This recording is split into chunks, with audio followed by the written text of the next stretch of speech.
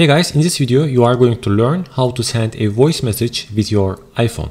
If you want to send a voice message from your iPhone, first you need to go to the Messages app. When you see this screen here, click on the text message field and your screen should look like something similar to this one.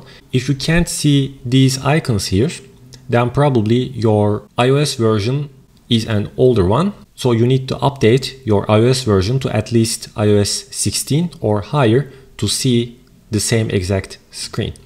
Now on the right side of this text message field, you see a little microphone. What this does is that when you tap on it and when you start speaking, it actually converts your voice to text.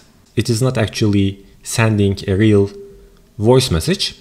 To send a voice message, you need to find this blue icon here, which has audio. If you tap on that, if you see this error message here, cannot send audio messages at this time, there might be two reasons for that.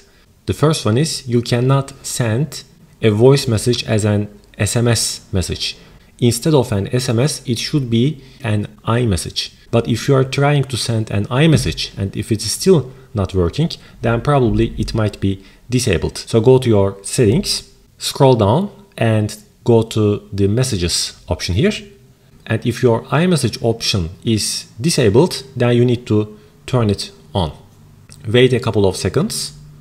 Go back to your messages app. And now in this field, you should see here the iMessage option. Tap on that and then tap on this blue icon here.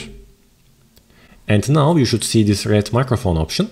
If you tap on it and start speaking, now it is recording your voice. If you tap it again, then it stops recording. If you click on the play button, you can hear your own voice. And start speaking. Now it is recording your voice.